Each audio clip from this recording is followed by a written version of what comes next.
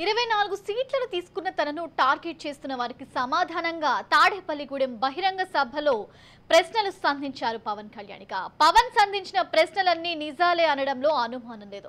అయితే పార్టీ పెట్టి పదేళ్ళైనా పార్టీ ఇంత బలహీనంగా ఉండడానికి కారణం ఎవరు?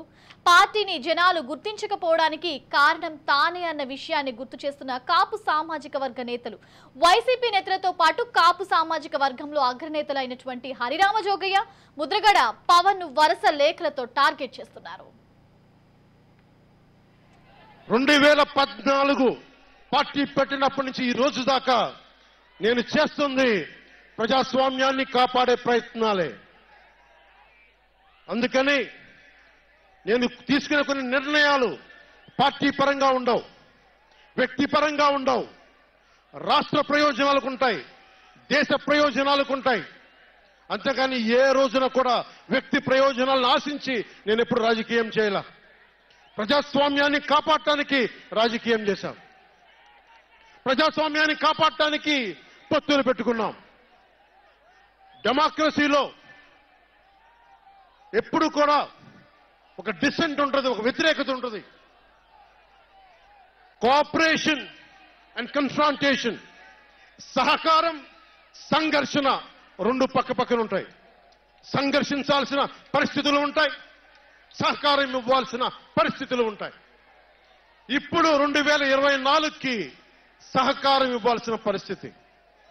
మనం సహకరిస్తుంటేనే తెలుగుదేశం జనసేన సహకరించుకుంటేనే ఐదు కోట్ల మంది ప్రజల మనోభావాలు వారి భవిష్యత్తు బంగారంలో ఉంటుంది.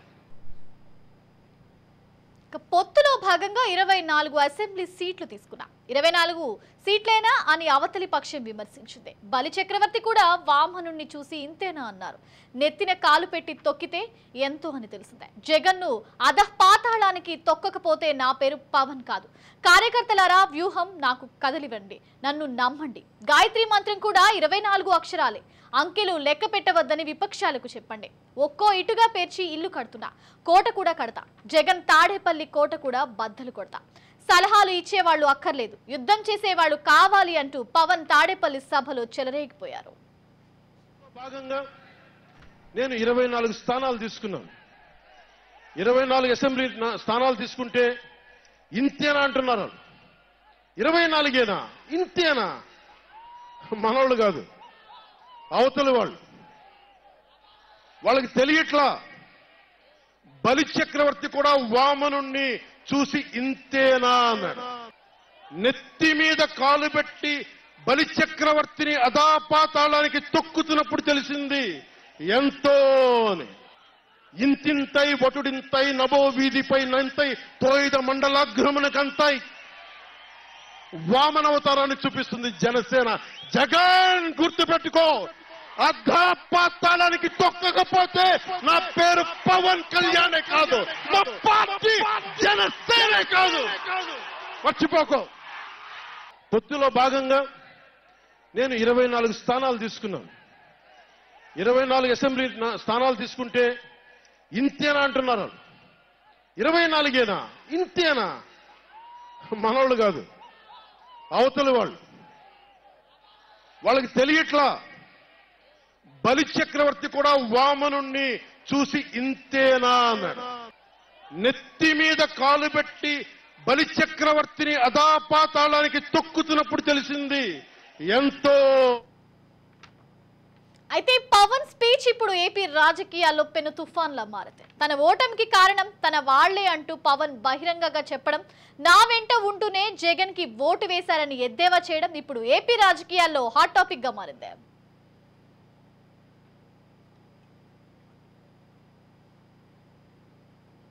ఓటేశారు మర్చిపోను. ఈ రోజున మీరు సఫర్ అవుతున్నారు నేను కాదు మీ భవిష్యత్తు కోసం వచ్చే నేను రోడ్ల మీదకి. శుభ్రంగా కోట్లు సంపాదించుకునే మార్గాలు ఉన్నాయి నా దగ్గర. యాక్టింగ్ స్కిల్స్ ఉన్నాయి. అన్ని కాదనుకొని ఎందుకు వచ్చాను? నన్ను నేలే. మన మనుషులే మన వాళ్ళే తప్పన పెట్టి తప్పన పెట్టి తప్పన పెడితే నేను రెండు చోట్ల ఓడిపోయాను. రెండు చోట్ల. బాధ లేదు. నిలబడ్డా. రెండు చోట్ల ఓటమి బాధ మీకు ఎలా ఉంటుందో తెలుసా? ఒక ఎగ్జామ్ పోతే మీకు బాధ ఎలా ఉంటుందో విద్యార్థికి తెలుసు. అలాంటిది నేను రెండు చోట్ల ఓడిపోతే నేను నిరాశ నైరస్యం నైరాస్యం బాధ ఉండింది. ఇన్ని రోజుల నుంచి ఇన్ని సంవత్సరాల నుంచి నిలబడే ఉన్నాం. బాధగా ఉంది. అరే మా నేల ఏమైపోతుందని బాధ ఉంది. కింద మీద పడుతున్నాం. ఏ రోజు కూడా ఎవరిని చేయి సాచి డబ్బులు అడగల. నిలబడి ఉన్నాం. కష్టపడి సంపాదించిన డబ్బులు తీసి పార్టీని నడిపాం. ఎవరున్నారు నా వెనక? మహామహులు ఉన్నారా నన్ను నమ్మే నా జన సైనికులు నన్ను నమ్మిన నా తల్లులు తప్ప. నన్ను కాదని మీరు జగన్ జగన్కు ఓటేశారు మర్చిపోను. ఇక పవన్ని టార్గెట్ చేస్తూ వైసీపీ మంత్రులంతా రంగంలోకి దిగారు. పవన్ కళ్యాణ్ గట్టిగా అరిచినంత మాత్రాన ఎన్నికల్లో ఓట్లు పడవని మంత్రి రోజా ఎద్దేవా చేశారు. పవన్ ఫ్రస్ట్రేషన్ పీక్స్కు చేరిందని పార్టీ పెట్టి పదేళ్ళైన ఇరవై నాలుగు సీట్లకే పోటీ చేస్తున్నారని సెటైర్లు వేశారు. కనీసం ముప్పై సీట్లు కూడా తెచ్చుకోలేని స్థితిలో పవన్ ఉన్నారని రోజా పేర్కొన్నారు. ఇక చంద్రబాబు హయాంలో ఆయన పూర్తిగా పడిపోయారు. బాబుకు ఊడిగం చేస్తూ పాతాళంలోకి కూరుకుపోయారంటూ కామెంట్ చేశారు. మరి నువ్వు కనీసం రెండు చోట్ల నించుంటే రెండు చోట్ల కూడా ఎమ్మెల్యేగా గెలవలేకపోయావు అంటే అర్థం చేసుకోవాలి. ఈరోజు సిగ్గుచేట ఏంటంటే ఒక పార్టీ ప్రెసిడెంట్గా ఉండి ఇరవై నాలుగు సీట్లకే పరిమితం అయిపోయి మళ్ళీ క్యాడర్ని తిడతాడు. మనకు ఎక్కడుందయ్యా బూత్ కమిటీలు? మనకు ఎక్కడుందయ్యా మండల కమిటీలు? ఎవరండి డిజైన్ చేయాలి? మండల కమిటీలను ఎవరు ఏర్పాటు చేయాలి? బూత్ కమిటీలను ఎవరు ఏర్పాటు చేయాలి? పార్టీ ప్రెసిడెంట్ చేయాలి. నువ్వు పార్టీ ప్రెసిడెంట్ అని పేరుకే తప్ప ఏ రోజైనా పార్టీ నిర్మాణ పనులు చేసావా? నీ తప్పును ఈరోజు కార్యకర్తల మీద జన సైనికుల మీద రుద్దాలని నీ ఫ్రస్ట్రేషన్ని చూపించడం అనేది సిగ్గుచేటు. ఈరోజు ముష్టి ముప్పై సీట్లు కూడా తెచ్చుకోలేని నువ్వు నిన్న జగనన్ననే అతక్ పాతాలానికి తొక్కుతానంటున్నావు. నువ్వు చంద్రబాబు నాయుడు దగ్గర ఊడిగం చేస్తూ ఈరోజు అధహ పాతాలానికి వెళ్ళావు అనేది నిన్న మీటింగ్తో స్పష్టంగా అర్థమైపోయింది. ఎవరో సెవెన్ ఓ క్లాక్ బ్లేడ్తో కోసుకొని చచ్చిపోతానన్నాడు ఆయనేనా? ఈరోజు ఒక మహిళ సక్సెస్ఫుల్గా ఉంటే కష్టపడి పైకి వస్తే స్ట్రాంగ్గా ప్రతిపక్షాలు చేసే తప్పుల్ని ఎత్తి చూపిస్తే ఇలా నీచంగా మాట్లాడటం వల్గర్గా మాట్లాడటం తెలుగుదేశానికి జనసేనకి వెన్నతో పెట్టిన విద్య. సో మహిళలు అందుకే వాళ్ళని అసహించుకున్నారు అనేది కూడా మీరు గమనించాల్సిన విషయం. వల్ల హరిరామ జోగయ్య ముద్రగడ వంటి వారు ఇబ్బంది పడుతున్నారని వైసీపీ నేతలు పేర్కొన్నారు. టీడీపీ జనసేనది ఎజెండా లేని జెండా సభ అంటూ సెటైర్లు వేశారు. ప్రజా జీవితంలో ప్రజా నాయకుడు ఉండాల్సినటువంటి స్పీచ్ కాదు అది. అతను ప్రజా జీవితం అర్హత ఉందని నేనైతే అనుకోవట్లేదు. అతను చాలా పిచ్చి పిచ్చిగా మాట్లాడాడు. నిజంగా కూడా ప్రజలు అతనికి ఇప్పుడు ఇరవై నాలుగు సీట్లు తీసుకున్నాడు చంద్రబాబు దగ్గర ముష్టి ఇరవై నాలుగు సీట్లు. నేను పెద్ద గొప్పవాడిని చించుతా పొడుస్తా అది చేస్తా ఇది చేస్తా వైసీపీ నాయకులు అంటున్నాడు. నువ్వు రెండు చోట్ల నుంచున్నావు. గెలిచావా? నువ్వు ఇంతకు ముందు రెండు చోట్ల నుంచున్నావు. రెండు చోట్ల ఓడిపోయిన ఎమ్మెల్యే నువ్వు. నువ్వు వచ్చి పెద్ద కవర్లు చెప్తావు నువ్వు వచ్చి జగన్మోహన్ రెడ్డి గారిని నియమిస్తావు మళ్ళీ మళ్ళీ జగన్ గారు ఉంచబెట్టిన అభ్యర్థి మీద రెండు చోట్ల ఓడిపోయావు.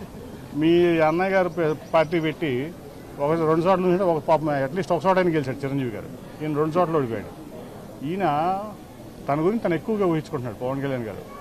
సో ఆయన వాస్తవానికి రావాలి వాస్తవంలోకి రావాలి. ఆంధ్రప్రదేశ్లో పరిస్థితులు వాళ్ళకి తెలియదు. ఎందుకంటే వాళ్ళు హైదరాబాద్లో ఉంటారు. అప్పుడప్పుడు ప్రత్యేక విమానాల్లో వచ్చి మళ్ళీ ప్రత్యేక విమానాల్లో వెళ్ళిపోతూ ఉంటారు వెనక్కి. సో అటువంటి వెహికల్ కాదు? ఇక్కడ అటువంటి వెహికల్ వ్యక్తులకి మన రాష్ట్రంలో ఉన్న పరిస్థితులు ఏం తెలుసు? అసలు ఒక ప్రజా జీవితంలో ప్రజా నాయకుడు ఉండాల్సినటువంటి స్పీచ్ కాదు అది. అతను ప్రజా జీవితం అర్హత ఉందని నేనైతే అనుకోవట్లేదు అతను చాలా పిచ్చి పిచ్చిగా మాట్లాడాడు. నిజంగా కూడా ప్రజలు అతనికి ఇప్పుడు ఇరవై నాలుగు సీట్లు తీసుకున్నాడు. పురాణాల్లో పవన్ను పోల్చాలంటే శల్యుడి పాత్ర ఒక్కటే ఉందని ఎద్దేవా చేశారు మాజీ మంత్రి పేర్ని నాని. టీడీపీ జనసేన సభలో కేవలం ముఖ్యమంత్రి వైఎస్ జగన్మోహన్ రెడ్డి నామస్మరణే చేశారు. వారికి ఎందుకు ఓటు వేయాలో చెప్పలేకపోయారని వ్యాఖ్యలు చేశారు. మూడు చోట్లకి వెళ్తారా? ప్రజలు అని మాట్లాడుతున్నాడు. మరి ఇంత పోటుగాడివైతే పవన్ కళ్యాణ్ గారు నువ్వు. రెండు వేల పంతొమ్మిదిలో ఏమని మాట్లాడావు? అమరావతి అందరి రాజధాని కాదు. అది కొందరి రాజధానే. కేవలం ఒక కులానికి మాత్రమే రాజధాని అది. మిగతా రాష్ట్రంలోని మిగతా జిల్లాల్లో ఉన్నటువంటి పేద మధ్యతరగతి వర్గాలు అక్కడ ఇల్లు కట్టుకోవాలంటే వారి ఉండటానికి చోటేది అని అన్నావు కదా. రెండు వేల పంతొమ్మిదిలో అది కేవలం ఒక కులానికే రాజధాని అది అందరి రాజధాని కాదు. ఈ రాష్ట్రంలోని మిగతా వాళ్ళకి చోటేది అక్కడ అని చెప్పినటువంటి ఇదే పవన్ కళ్యాణ్. ఇవాళ అమరావతి రాజధాని అంటున్నాడు. ఆ రోజుకి ఈ రోజుకి ఏం జరిగింది? మార్పు ఏం జరిగింది? చంద్రబాబుకి నీకు మధ్య ఏం జరిగింది? లాలుచి చెప్పాలి కదా? చెప్పకుండా నేను ఎవరికేమీ చెప్పను? మీరు నన్ను అడిగితే బయటికి పోండి. పోతారు పోయి నువ్వే నువ్వు వెళ్ళమనక్కర్లా జనం వెళ్ళమనకుండానే పోతారు. ఏంటంటే ఆయన్ని ఇరవై నాలుగు సీట్లేనా? ఇరవై నాలుగు సీట్లేనా? ఆఫ్టర్ ఆల్ ఇరవై నాలుగు సీట్లేనా అని అంటున్నారంటే. ఎవడంటాడు? ఎవడికేం పని? జగన్మోహన్ రెడ్డి గారికి ఏం పని?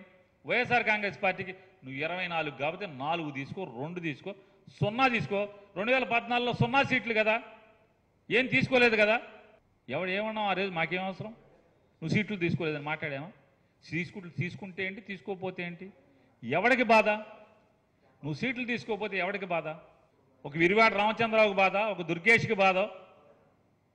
లేదా ఆశ పెట్టుకున్నటువంటి జగ్గంపేటలో కుర్రోడు ఎవడో గుళ్ళో పడుకున్నాడు ఇవాళ కూడా. సూర్యచంద్ర అంట. ఆ సూర్యచంద్ర లబో దిబ్బమని ఏడుస్తున్నాడు. అతనికి బాధ. లేదా మీరు హాస్పిటల్లో నిరాహార దీక్ష చేస్తుంటే ఫోన్ చేసి నా మాటిను నేను ముఖ్యమంత్రి అవుతాను నేను ముఖ్యమంత్రిగా పోటీ చేస్తాను నువ్వు నిమ్మరసం తీసుకోమని ఏలూరు హాస్పిటల్కి ఫోన్ చేసినటువంటి హరిరామ్ జోగి గారికి బాధ. లేదా మీ పార్టీ మనుషులందరినీ కూడా పంపించి జోలపాట పాడి ముద్రగడ పద్మనాభం గారింటికి అయోధ్య వెళ్ళాక వెళ్ళి వస్తాను వస్తాను కాశీ వెళ్ళాక మీ ఇంటికి వస్తాను కౌరులు చేసింది మీరు కదా ఏమైనా ఉంటే బాధ ముద్రగడ పద్మనాభం గారికి ఉండాలి లేదా మీ జెండా మోసే కార్యకర్తలకు ఉండాలి. ఏంట్రా మనోడు ఇంత దిగజారిపోయాడని చెప్పని లేదా నీకు ఓటేద్దాం అనుకున్నటువంటి మన కాపులకు ఉండాలి బాధ. వైఎస్ఆర్ కాంగ్రెస్ పార్టీకి ఎందుకు బాధ? ఇరవై నాలుగు సీట్లు దానం పొందిన వామనుడు నువ్వు ఎవరిని తొక్కాలి ఇప్పుడు? నీకు సీట్లు దానం చేసిన చంద్రబాబుని పాతాళానికి తొక్కుకో. తొక్కుతావు ఖాయంగా రేపు జరగబోయేది అదే. ఇవాళ చంద్రబాబు నాయుడు నువ్వు పాతాళానికి తొక్కితే రాబోయే రోజుల్లో ఈ రాష్ట్రంలో పేదరికం పోతుంది. పేద మధ్యతరగతి వర్గాలకి మేలు జరుగుతుంది. నువ్వు నువ్వు దానం పొంది ఇరవై నాలుగు సీట్లు దానం పొందినటువంటి చంద్రబాబు నాయుడిని పాతాళానికి తొక్కితే. తొక్కేయి. దానం పొందావు. వామనుడి కథలాగా చంద్రబాబు నాయుడిని పాతాళానికి తొక్కేయి. తాడేపల్లి సభతో అసలు ఏం సందేశం ఇచ్చారని జెండా సభకు జనాలు రాకపోవడంతో ఆలస్యంగా మొదలు పెట్టారని ప్రతిపక్ష కూటమిని ఉద్దేశించి ఏపీ జలవనరుల శాఖ మంత్రి అంబటి రాంబాబు ఎద్దేవా చేశారు. జగన్మోహన్ రెడ్డి గారిని అధపాతానికి తొక్కగలిగినటువంటి శక్తి నీకుందా? ఒకసారి ఆలోచించుకో. నీ అంతరాత్మను అడుగు. ఒంటరిగా గుండె మీద చేసుకుని ఆలోచన చేయమని మనం మనవి చేస్తున్నా. జగన్మోహన్ రెడ్డి గారి గురించి మాట్లాడే నైతిక హక్కు లేనటువంటి వ్యక్తివి నువ్వు. తండ్రి మరణిస్తే రాజకీయాల్లోకి వచ్చి భయపడుకోకుండా ముందుకు వెళ్ళినటువంటి వీరుడు జగన్మోహన్ రెడ్డి ఏది అనుకున్నాడో దానికోసం ప్రయత్నం చేసే వ్యక్తి రాజీ పడని వ్యక్తి జగన్మోహన్ రెడ్డి గారు. అలాంటి జగన్మోహన్ రెడ్డి గారిని పట్టుకొని ఇంకో మాట అన్నాడు. నేను నీకు తొక్కకపోతే నా పేరు పవన్ కళ్యాణ్ కాదని. నీ పేరు అసలు పవన్ కళ్యాణే కాదు. రాసుకో వాళ్ళు చెప్తున్నా. ఈ మాట మీద నిలబడు. ఇంకోటి నువ్వు అడిగింది నువ్వు నాలుగో పెళ్ళి గురించి చెప్తా. స్నేహం అంట. స్నేహం చేస్తే చచ్చే వరకు నాది స్నేహం. అబ్బబ్బబ్బబ్బా. సిపిఐతో స్నేహం చేసావుగా చచ్చేదాకా ఉండవా సిపిఎంతో స్నేహం చేసావుగా చచ్చేదాకా ఉండవా చెప్పయ్యా. అక్కడ దాకా ఎందుకు బీజేపీతో స్నేహం చేస్తున్నావుగా? చచ్చేదాకా ఉన్నావా? ఎన్ని దొంగ మాటలయ్యా నాకు అర్థం కాలేదు. ఈ దుర్మార్గమైన రాజకీయాల్లో పవన్ కళ్యాణ్ అనేటువంటి వ్యక్తి ఏదో ఆటలో అరటిపండులాగా కొంతకాలం ఉండే వ్యక్తే కానీ అయ్యా పది సంవత్సరాలు అయింది రాజకీయ పార్టీ పెట్టి. అసలు ఎందుకు ఇరవై నాలుగు తీసుకున్నావు? నాకు అర్థం కాదు అనవసరంగా. ఆ రెండు వేల పద్నాలుగు లాగా ఫ్రీగా సపోర్ట్ చేయలేదు. ఎందుకు వచ్చింది గొడవ? ఇరవై నాలుగు మందిని నువ్వు మా తీసుకుని మళ్ళీ ఆయన పెట్టలేకపోతున్నావు నువ్వు. ఎవరిని పెట్టాలి నీకు? అర్థం కాదు. అసలు ఈ పది సంవత్సరాల్లో నూట డెబ్బై ఐదు సీట్లకి నూట డెబ్బై ఐదు మందిని పెట్టి గెలిపించుకోవాలనేటువంటి తృష్ణ కానీ చిత్తశుద్ధి కానీ నీకు ఎప్పుడైనా ఉందా? మొత్తం టోటల్గా ఒకసారి నెక్కలు చూసుకోండి. లేవు. జగన్మోహన్ రెడ్డి గారిని అధపాతానికి తొక్కగలిగినటువంటి శక్తి నీకుందా? ఒకసారి ఆలోచించుకో. నీ అంతరాత్మను అడుగు. ఒంటరిగా గుండె మీద చేసుకుని ఆలోచన చేయమని మనం మనవి చేస్తున్నా. జగన్మోహన్ రెడ్డి గారి గురించి మాట్లాడే నైతిక హక్కు లేనటువంటి వ్యక్తివి నువ్వు. తండ్రి మరణిస్తే రాజకీయాల్లోకి వచ్చి భయపడుకోకుండా ముందుకు వెళ్ళినటువంటి వీరుడు జగన్మోహన్ రెడ్డి ఏది అనుకున్నా ఇదే అంశానికి సంబంధించి మరింత సమాచారం మా ఏలూరు ప్రతినిధి మురళి అందిస్తారు. మురళి ఓటు కాపు సామాజిక వర్గ పెద్దలైతే జనసేన నేత పవన్ కళ్యాణ్పై అయితే ఒక అంత అసహనంతో ఉన్నారని చెప్పుకోవచ్చు. జనసేన ఇరవై నాలుగు అసెంబ్లీ సీట్లతో సరిపెట్టుకున్న నేపథ్యంలో కాపు సంక్షేమ సేన రాష్ట్ర అధ్యక్షులు చాగండు రామజోగయ్య ఘాటుగా లేఖ రాసిన పరిస్థితి అయితే ఉంది. ఎనభై సీట్లు పైన జనసేన తీసుకొని అలాగే పవర్ షేరింగ్ జరగాల్సిన పరిస్థితి ఉంది. అలాగే రెండున్నర సంవత్సరాల ముఖ్యమంత్రి పదవి కూడా జనసేన అధినేత పవన్ కళ్యాణ్ తీసుకునేటట్లయితే కాపు సామాజిక వర్గ పెద్దలు అలాగే జనసేన నేతలు కూడా అటు ఈ పొత్తుని స్వాగతించే వాళ్ళం. అలా కాకుండా ఇరవై నాలుగు సీట్లకే పరిమితమైన నేపథ్యంలో అయితే ఇటు కాపు సంక్షేమ సేన రాష్ట్ర అధ్యక్షులు అలాగే కాపు ఉద్యమ నేత ముద్రగడ పద్మనాభం కూడా ఘాటుగా లే- లేఖ రాసిన పరిస్థితి అయితే ఉంది. కాపు సంక్షేమ సేన అలాగే కాపు ఉద్యమ నేత కూడా ఇంచుమించుగా ఒకటేగా లెటర్లో రాసిన పరిస్థితి అయితే ఉంది. ముద్రగడ పద్మనాభం కూడా ఎనభై సీట్లు జనసేన తీసుకుని అలాగే రెండు సంవత్సరాలు పవన్ కళ్యాణ్ ముఖ్యమంత్రి అయ్యే విధంగా అడిగినట్లయితే బాగుండేది అంటూ కూడా ముద్రగడ పద్మనాభం కూడా తన లేఖలో పేర్కొన్నారు. తాను పవన్ కళ్యాణ్ కోసం ఎదురు చూస్తున్నానని నన్ను వచ్చి రెండుసార్లు కలుస్తానని చెప్పిన నేపథ్యంలో పవన్ కళ్యాణ్తో కలిసి పనిచేద్దామని చెప్పి వేచి చూశాను. ఆ పరిస్థితి లేదు.